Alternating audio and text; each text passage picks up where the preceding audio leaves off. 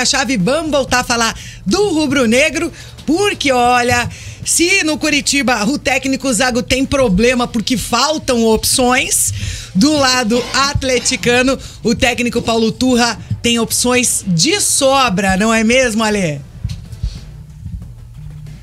Bom, se tem, TT. Tem opções de sobra e, além de tudo, é, tem tido um esquema não com três zagueiros, mas com três volantes, né? O técnico Paulo Turra utilizando Eric, Fernandinho e Christian nas principais partidas do Furacão nessa reta de, de abril e maio, né? Após o Paranaense. Ele que utilizou muito o Vitor Bueno junto com o Davi Terans, fazendo aquela inversão. A gente já falou bastante sobre isso no bate-pronto. Ora Vitor Bueno por dentro, ora Davi Terans por dentro, com, com o Vitor Bueno por fora, né? Pelo lado direito, com um ponta pela esquerda e com o centroavante, que no Paranaense foi o Pablo, e depois do Sul-Americano Sub-20, o Vitor Roque acabou ganhando a posição. Mas agora o esquema mudou. Na partida contra o Galo na Libertadores, na partida contra o CRB na Copa do Brasil, na partida contra o Flamengo pelo Campeonato Brasileiro e agora, no último domingo, no clássico contra o Coritiba, o técnico Paulo Turra utilizou a formação com Eric, Fernandinho e Christian no meio-campo, Davi Teran sendo um dos pontas, jogando por um dos lados e, e por horas alternando também, vindo para o centro do campo para ajudar na criação do time. E tinha, ele tinha utilizado o Rômulo pela esquerda com o Vitor Roque no ataque agora utilizando o Pablo pela esquerda com o Vitor Roque novamente como camisa 9 do Atlético. O técnico Paulo Turra elogiou bastante esse esquema com os três volantes, com o Eric, Fernandinho e com o Christian, e esse esquema é o que deve permanecer como titular do Atlético na partida contra o Botafogo. São os, os três volantes que, que nós temos, né? que duvido muito que algum, algum clube, algum treinador no futebol brasileiro tenha, tenham tenha três volantes, que tem muita capacidade. E eu estou muito feliz com eles, não só com eles. É, o Alex Santana já foi decisivo recentemente.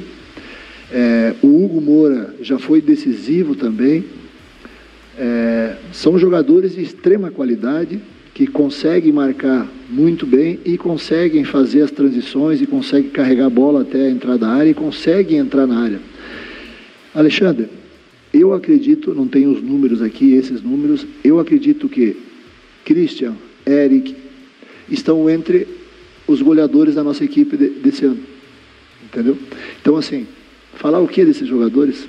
Eu, como treinador, só tenho que enaltecer muito, porque são jogadores espetaculares, jogadores fora de série, jogadores que fazem a diferença dentro das suas posições. Opa, tava desligado meu áudio aqui por conta da sonora do Paulo Turra. Mas o Paulo Turra falou, né? Não tinha os números ali com ele na coletiva de imprensa. Eles estão, de fato, entre os artilheiros do Furacão no ano.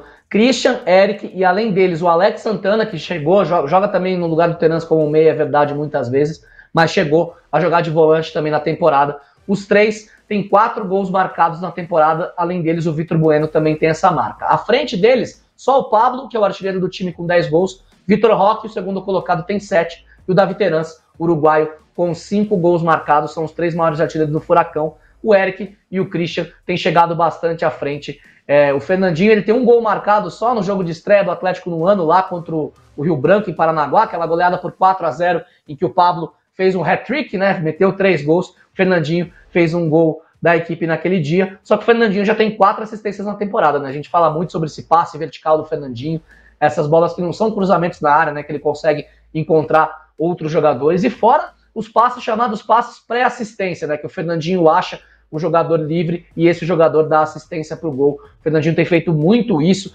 aconteceu na, na, na contra o CRB na Copa do Brasil, é, em que ele deu aquele passe para o Alex Santana fazer o gol, e aconteceu também na partida contra o Flamengo, o passe que ele encontrou para o Kelvin é, o gol que o Eric marcou, gol da virada do Atlético no Campeonato Brasileiro diante do Flamengo. Então, assim, jogadores que têm sido muito importantes para o Furacão na temporada e têm conseguido ajudar demais, não só defensivamente, mas também na criação de jogadas e nos gols marcados pelo Atlético no ano. É, o gol do Canóbio, 90% é do Eric, né? Inclusive depois do Canóbio, depois que finalizou o jogo, e ele ficava apontando pro Eric, né? Apontava pro Eric e batia palma, porque o Eric foi o grande garçom ali. E, e uh, o Eric teve uma participação super importante, pesada no Atletiba. Diga, Lê. Só para complementar a informação, é, no, na coletiva de imprensa, depois do jogo, o Canobi foi falar com a gente e ele falou que o gol praticamente era do Eric, então ele deu todo o crédito também para o volante do Atlético pela jogada. O Eric podia ter, podia ter chutado pro gol, inclusive. Podia, e ele achou que o Canóbio estava melhor ali, né? Posicionado e, e acabou servindo o Canóbio para fechar o placar e, e concretizar a virada atleticana contra o Coritiba na Arena da Baixada. Ele foi o volante mais presente na área do Atlético no clássico. Inclusive o Paulo Turra citou, né, que ele esteve mais presente na área do que o Vitor Roque, porque ele é um jogador que chega muito. Nesse jogo ele chutou seis bolas, duas em direção ao gol e além da bola na trave. E também perdeu um gol que, na verdade, acabou chutando fraco, pegou mal ali, mas aos 45 do primeiro tempo foi um passe açucarado do outro volante, Fernandinho, né? Eu acho que não sei nem se a gente pode chamar de volante, tem uma baita visão de jogo, né? Circula o campo todo ali. E o Fernandinho deu um passe pro Eric e aí o, o Gabriel acabou defendendo. É, foi uma reação do Atlético já na reta final do primeiro tempo, né? O Curitiba estava é, à frente no placar. Então, eles têm é, muita qualidade, né? E o Eric tem uma identificação muito grande com o Atlético, assim como o Fernandinho, que tem uma super história, né? Respeitadíssimo. Então, eles mudam realmente o panorama das partidas e muitas vezes acabam encontrando soluções, né? Quando o time está atrás no placar. O Fernandinho é, consegue encontrar uns espaços que você tenta voltar a imagem ali para tentar entender o que, que ele pensou, né? Às vezes em bolas longas também, que é uma característica do Atlético, o Fernandinho auxilia muito. Então o Atlético acaba tendo, né, ali no meio-campo, né, esses volantes que tem muita capacidade de ajudar o Atlético nesse poder de reação. É, o Eric é um volante muito moderno, né? já era assim no Operário. Ele passou uma temporada no Operário, ele fazia gol quase todo jogo.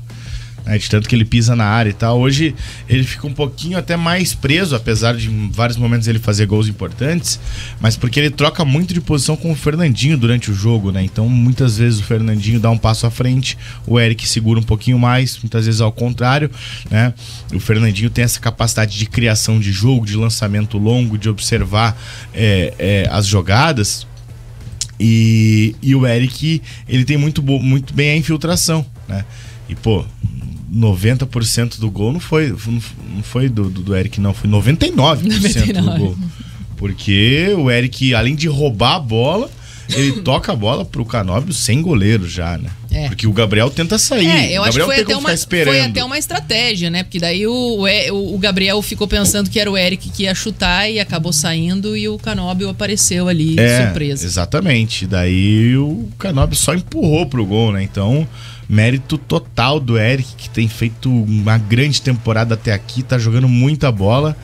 E eu espero que continue dessa maneira, porque é um jogador que pode tem ainda muito para evoluir e tá evoluindo ainda, né? Então é, se encaixa muito bem, né? Esse meio de campo do Atlético já tá praticamente formado, né? Eu acho que até o Christian aí já tá garantindo a vaga dele também.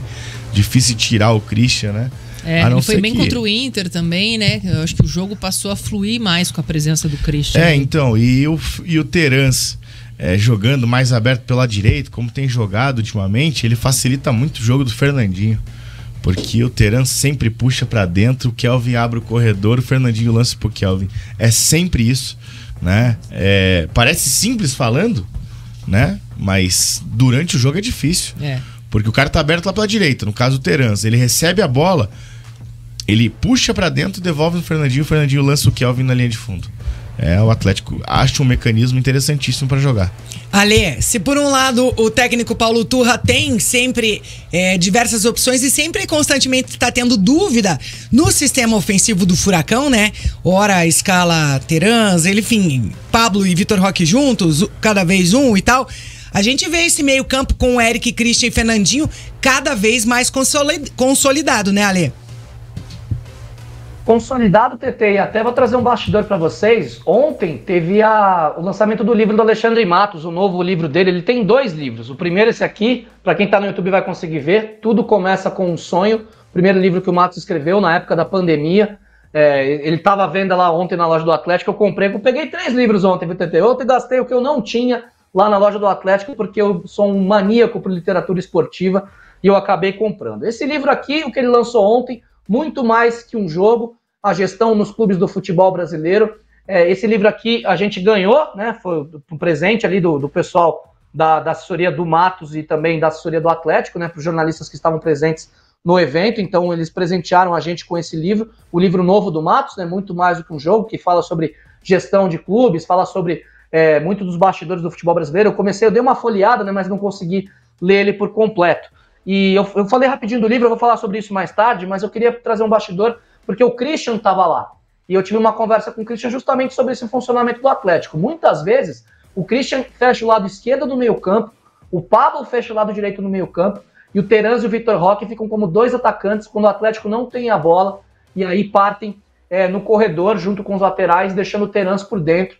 Isso facilita muito na criação do Atlético, né? nessa criação de espaços que o Dalk falou, com o Terans deixando o lado, vindo para o centro, e também povoando mais o meio-campo com um jogador a mais, que seria o ponta direito, o Terans, que acaba afunilando. E o Christian explicou um pouco sobre esse, sobre esse movimento, porque por vezes o Christian vem por dentro, o Terans vai por fora, o Pablo pode ir por fora, mas também pode fechar na área, como aconteceu no primeiro gol do, do Atlético contra o Coritiba, um cruzamento do Fernando que o Pablo tá quase na pequena área ali, tá dentro da, da grande área para fazer o gol de empate. E o Christian falou que eles têm os três, é, hora com, com. Dependente do ponta que joga pela esquerda, mas no caso do Atletiba, Christian, Terans e Pablo. Eles têm liberdade para fazer um triângulo, como ele disse, e acabar invertendo as posições. Por isso que o Atlético acaba ficando é, não tão previsível nas jogadas de ataque, né? Consegue criar espaços e tudo mais. E aí o Christian faz esse trabalho defensivo pelo lado esquerdo do meio-campo. Até por isso ele ganhou a titularidade em relação ao Alex Santana. Alex Santana que foi decisivo, por exemplo, na Copa do Brasil, mas é um jogador que joga mais por dentro. O Christian tem mais flexibilidade, digamos assim, mais versatilidade para poder também jogar pelo lado do campo para fechar espaços no meio campo. Né? Um jogador que é físico como Alex Santana sem a bola, mas que também é, tem essa facilidade de jogar pelo lado e por dentro, né? além da facilidade, é claro, com a bola nos pés, isso o Atlético no meio campo tem de sobra, tem vários jogadores. Mas trazendo o bastidor, já já eu volto para falar sobre os livros. Eu